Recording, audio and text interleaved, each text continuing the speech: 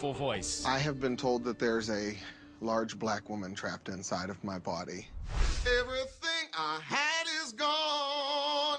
Stormy weather, yeah. One of my favorite albums of all times is Walking in Memphis, Oh, yeah. Marc Cohn. And when you mm-hmm. started singing, it reminded me of that a little bit. But Adam's golden ticket didn't come without a price. It just kind of hit me that I'm going to be away from my daughter for the first time for multiple days. You got to be good for mom. Okay.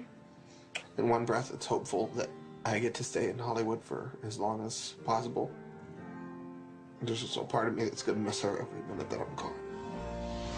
Can he rise above his emotions for today's performance? I am singing my song. I guess the catalyst was because Jennifer asked me to sing this song at the auditions. Oh, I did? You did. Okay, good. Oh, okay. So here's Walking in Memphis. Come on. There'll be catfish on the table, and gospel music in the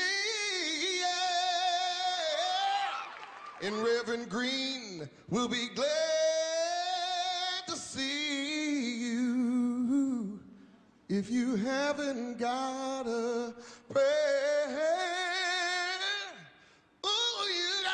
In Memphis. Beautiful, baby. Thank you. Nice. Thank you. Next up is Jane Carrey, who met the judges aboard the USS Midway in San Diego. Does father know you're here? Father does know I'm here. Who's father? My dad's Jim Carrey. Everyone growing up has kind of their issue with identity and trying to find themselves. It is difficult kind of growing up in the shadow of something and trying to find your place in the world underneath this huge shadow. And after making it to Hollywood, Jane settled in for a long stay. Well, my expectations of this week are that I'm going to stay here. I will be here the entire week. so get used to me. Do, do, do, looking out my back door. Just got home from Illinois. Locked the front door, oh boy. Got to sit down, take a rest on the porch. Imagination sets in.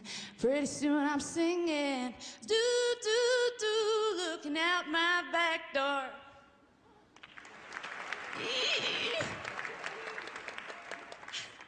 Hi. Hi. Thank you. Now, for the hard part, as the judges make some crucial cuts. I had a yes. No. Mm-hmm. No. It's too bad, too. Yeah. Yes. Yes? Let me have, um, let me have Joe step forward. Let me have Jane step forward.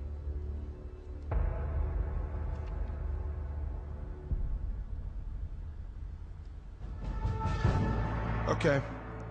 Back row. See you tomorrow. You're on to the next round. Front row is the end of the line. Thank you. So Adam is in, but we say goodbye to Jane Carrey. I freaked out when I was there, and um, so I was really, really shaky. And I know I can do way better than that, and so I'm really disappointed with myself. With the disappointment hanging heavily, Jane reaches out to the one person who knows exactly what she's going through. I talked to my dad, and he was kind of comforting, and he said, "Look, you know, I've been said no to a bunch of times, and um, and it worked out well for him in the end. So hopefully, I have a shot." As Jane leaves the competition, Adam Brock gets to share the good news with his family. So, uh, I'm not. I'm not gonna be coming home tonight. We knew it, we knew it, we knew, we knew, we knew it. It's huge, and uh, it's cool to think that one day Whitney will talk about the things that I've done. Uh, it's just cool.